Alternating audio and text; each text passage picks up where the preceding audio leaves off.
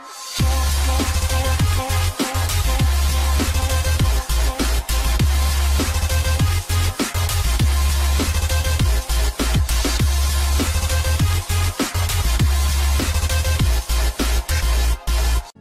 Salut tout le monde, c'est Lady, j'espère que vous allez bien. Nous sommes vendredi, nous avons donc notre petit rendez-vous habituel avec Zur et sans plus tarder nous allons voir ce qu'il a à nous proposer, sachant que bien évidemment voilà je m'attendais pas à grand chose dans la mesure où on a eu quand même du lourd la semaine dernière, donc vraiment je m'attendais pas à quelque chose de spectaculaire. Donc euh, pas de munitions violettes déjà pour commencer, on a un engramme de casque par contre, donc ça c'est plutôt cool.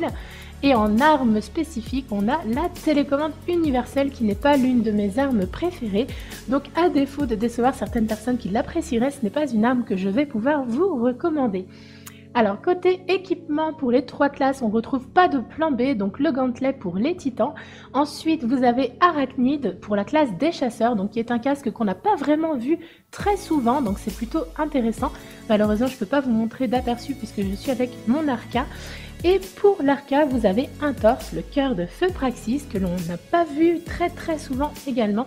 Donc côté équipement, on est relativement gâté cette semaine, donc du moins on peut s'estimer plutôt chanceux par rapport à ce qui tombe habituellement. Côté amélioration, maintenant on retrouve la symbiote acliophage de masque du troisième homme pour les chasseurs, donc deux casques, ça c'est plutôt cool. Pour les titans, on a la forteresse crânienne et le torse d'Alpha Lupier qui tombe assez régulièrement, donc je pense que tout le monde doit l'avoir à, peu près 36 de lumière à l'heure actuelle, mais bon, pour les retardataires, ça peut toujours être intéressant. Et pour les arcas, vous avez le crâne du désespoir d'Amkara et le plastron de la canine abyssale, qui est un torse phénoménal que je vous recommande d'améliorer si vous le possédez, euh, si vous ne le possédez pas à fond du moins pour le moment.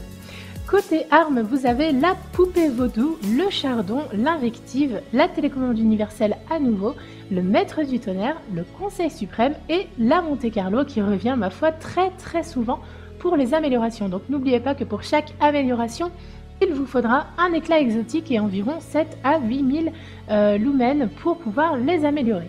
Côté rareté, on retrouve les télémétries des fusils à fusion, des fusils de précision et des mitrailleuses. C'est tout pour cette petite semaine avec Zur, rien de bien exaltant ma foi. Ce sera l'occasion pour certains soit de conserver vos pièces étranges en vue d'un futur retour des munitions violettes qui devraient arriver tous les un mois, un mois et demi maintenant, ou alors de prendre quelques équipements qu'il vous manquerait encore à l'heure actuelle. Voilà, c'est tout pour cette petite vidéo. Je vous fais de très très gros bisous et je vous dis à très bientôt pour d'autres infos. Ciao ciao